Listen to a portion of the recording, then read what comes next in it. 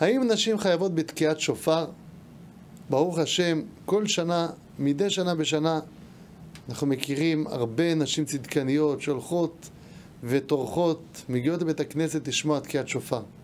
אבל צריך לזכור שהדבר הזה הוא לא חיוב. אישה היא לא מצווה על תקיעת שופר, מכיוון ששופר הוא רק פעם בשנה, הוא מצווה שנקרא מצוות עשה שהזמן גרמה. אישה לא חייבת במצווה שהזמן גורם אותה, ולכן נשים בעיקרון פטורות מלשמוע תקיעת שופר. מהי נפקא מינה? לענייננו, לעניין השנה הזאת, שיש מגפת הקורונה משתוללת, לא ברור שנוכל, כל הנשים יוכלו לשמוע תקיעת שופר. אישה שלא שמעה תקיעת שופר, לא צריכה להצטער. בורא עולם לא חייב אותה. אם היא יכולה לשמוע, בוודאי, אשריה שתשתדל מה שתוכל לשמוע תקיעת שופר.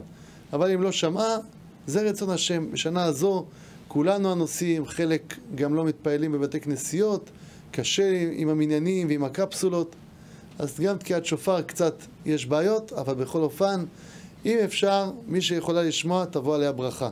אבל צריך לזכור שאישה פטורה מתקיעת שופר.